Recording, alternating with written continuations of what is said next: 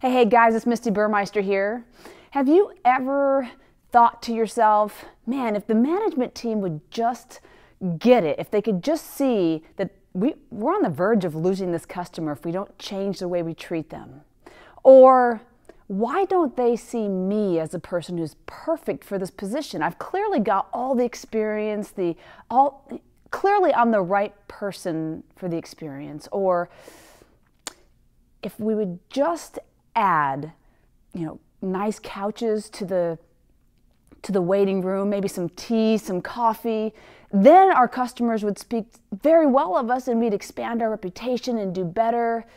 Of, co- of course, many of us have had these thoughts. If they would just do this or if they would d- just do that, and of course, they are almost exclusively the owners, the CEO, the executive. I recently watched a gentleman who taught me a great deal about that very conversation. He actually taught me about how important it is. Well, I'll just share with you the quick story. So I walk into this brand new office space. Well, they had just redone the office space inside of a, um, a chiropractor's office in Towson, Maryland. This gentleman, Dr. Mark Cesare, is he's a chiropractor and he's extraordinary at what he does. He's an employee for a guy who owns a couple of different places. It's a brand new office. I walk in and he's he's sharing with me how excited he is about the new uh, furniture that he just went to IKEA and bought, and how he painted the walls, and how he's got this on the wall, and that, and this TV, and these things that are going on. And I looked at him. I go, Mark, did you? I mean, this isn't your business. Did you? Did you buy this stuff? And he said, Well, yes, of course I did. If he can't see the value of these items in this space for for the comfort of our customers, then I'll eat the cost because for me, now all of a sudden I get to work in an environment where I get to feel great about it. And I just stopped and I looked at him and I, I literally said, What an instructional moment. He thought I was patronizing him, but I really meant it. And so it was literally the next day that I noticed um, a spot on the on the, the floor uh, one of the places where I swim on the floor that was slick. I almost bit it on the floor.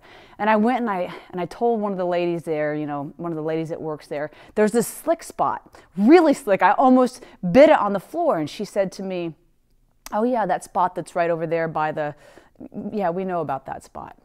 Inside my mind I thought, "Are you crazy? Why why didn't you do something about it if you know about it?" Why didn't you make a change? Why didn't you do something? And then boom, I thought of Dr. Mark Cesare. And I thought, what what can I do in this circumstance? Now I know I pay for a membership. I'm not responsible for this. And she's not the manager, she's probably not responsible. And even the manager's not the owner, so he's probably not responsible. But I asked myself, what could I do based on Mark Cesare's example? And so I sent an email, and long story made short, they found a way to cover that spot. And I have begun to ask myself that very question in every area of my life where I see a result or I see an outcome that I just politics that are, you know, organizational, leadership. How can I add a little bit of my own brilliance or gifts or um, what can I do to make a difference? How can I, instead of go, I'm not responsible, it's what kind of responsibility can I take to have an even better outcome for myself and for all the other people who are impacted?